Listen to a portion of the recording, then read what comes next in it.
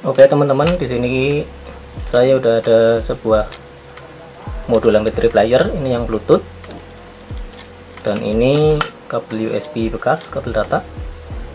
Ini saya pakai yang colokan yang gede aja. Micro USB-nya kita buang. Nah, nanti saya akan menjadikan modul MP3 ini sebagai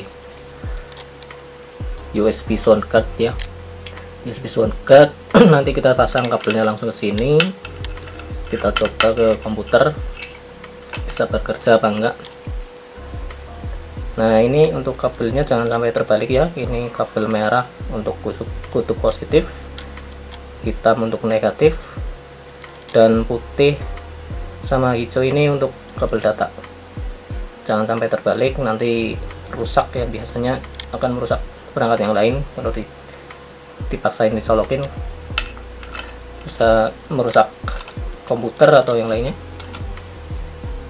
Berhubung komputer saya audionya juga rusak saya iseng-iseng aja pasang kabel langsung ke sini terus colokan komputer terus saya coba pencet-pencet tombol mode ini. Ternyata bisa terdeteksi di komputer. Di sini modenya masuk ke PC biasanya. Kalau di modul ini ya mungkin di modul yang lain beda lagi. Nggak tahu bisa bekerja apa enggak di modul yang beda versi atau beda merek.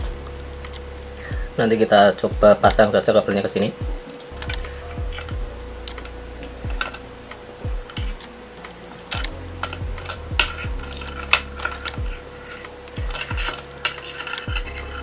Ingat-ingat jangan sampai terbalik di jalurnya seperti ini. Positif data data terus negatif ini yang ini jangan sampai terbalik merah sama hitam nanti bisa merusak perangkat yang lain. Kalau yang ini terbalik seperti ini nggak apa-apa cuma di komputer biasanya nggak terdeteksi nggak muncul apa-apa. Kalaupun terdeteksi itu biasanya perangkat nggak dikenal ya. Perangkat tidak dikenal munculnya. Kita langsung pasang aja kabelnya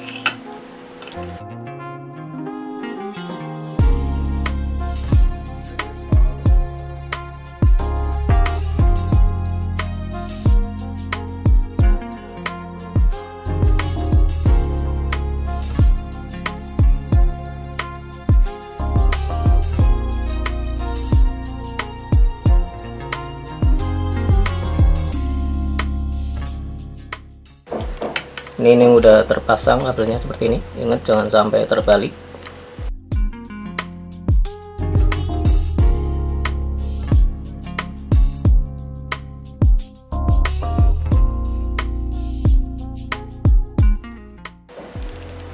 Oke sekarang kita langsung saja coba ke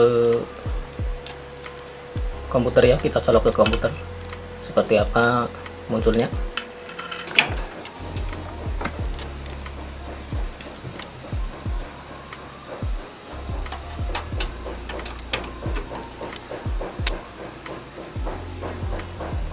ini udah nyala. Ini masih mode bluetooth ya. Kita coba pencet tombol mode.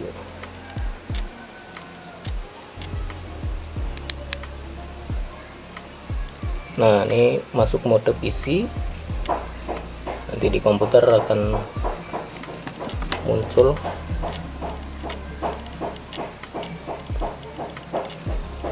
Nanti akan terdeteksi di komputer Nah, di sini udah terlihat ini driver-drivernya udah terinstall dengan secara otomatis.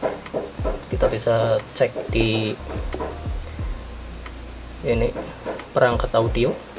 Kita cek di playback device.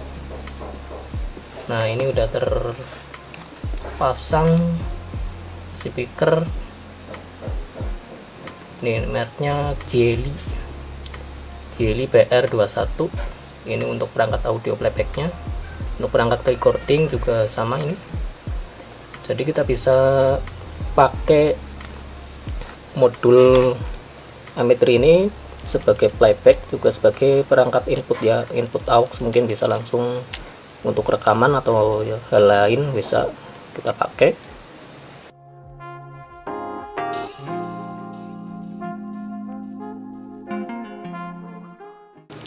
Tapi untuk tipe ini bisa mungkin untuk tipe yang lain belum saya coba. Nggak tahu bisa apa enggak. Ini mode PC. Kita coba play lagu. Akan muncul efek di sini bang coba kita